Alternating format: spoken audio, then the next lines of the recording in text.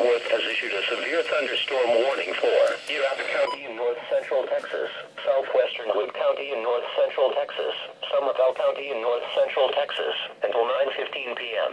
At 8:11 p.m., National Weather Service meteorologists detected a severe thunderstorm capable of producing quarter-size hail and damaging winds in excess of 60 miles per hour.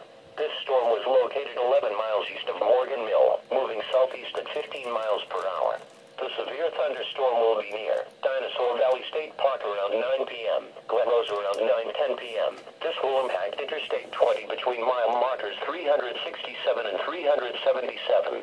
For your protection, move to a sturdy shelter until the storm has passed. If you are caught outside, seek shelter in a strong building and stay inside, away from windows until the storm has passed.